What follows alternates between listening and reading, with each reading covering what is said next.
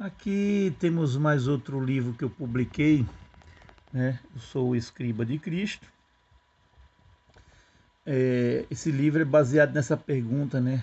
Será que a China é o dragão vermelho de Apocalipse 12? Né? Não é bem assim, mas também o é.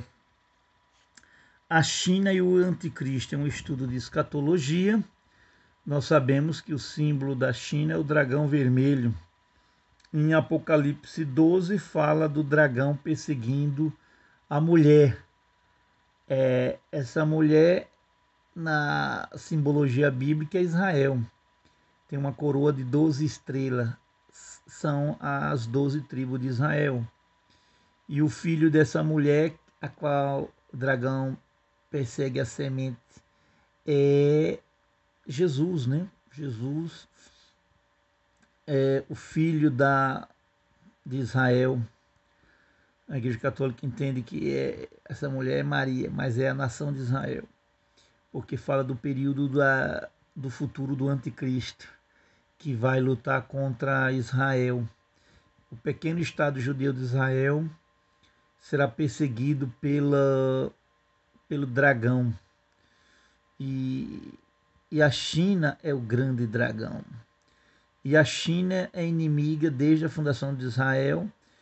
O Israel é o símbolo né, da, do, do, do, dos cumprimentos das profecias bíblicas. A China é um país comunista, ateísta. Então a existência de Israel é uma afronta para o comunismo, para o ateísmo. Então nesse livro eu mostro é, pela situação política, pelas, pelas profecias bíblicas, que a China é um inimigo forte de Israel, é um inimigo forte do reino de Deus.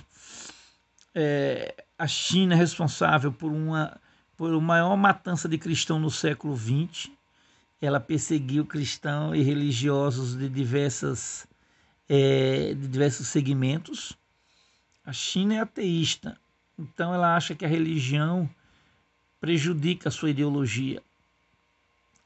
Uh, então esse livro é um livro de escatologia, estudo final dos tempos.